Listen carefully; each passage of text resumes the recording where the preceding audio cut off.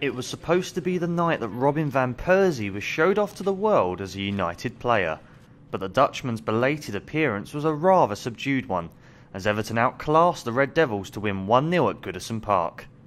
Marouane Fellaini tormented a patchy United defence containing Michael Carrick throughout the night, and got his reward in the 57th minute with a towering header from Darren Gibson's corner.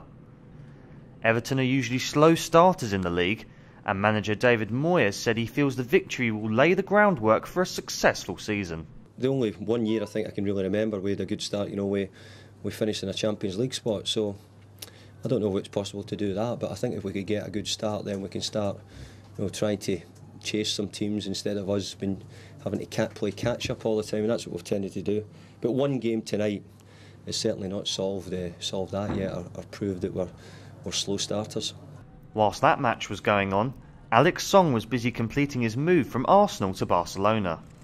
The 24 year old Cameroon international has signed a five year contract at the Nou Camp after the clubs agreed a £15 million deal. Meeting fans and the media, Song spoke of his happiness at joining Barca. I'm proud to be here today, to be in the best club of the world. It is very satisfying to be here. Song will now link up with former Arsenal teammate Cesc Fabregas as the club look to reclaim the Spanish league from arch rivals Real Madrid. After snapping up Jack Rodwell, another young English talent might be heading to City, as Swansea first team coach Alan Curtis says that Scott Sinclair could soon be joining the champions.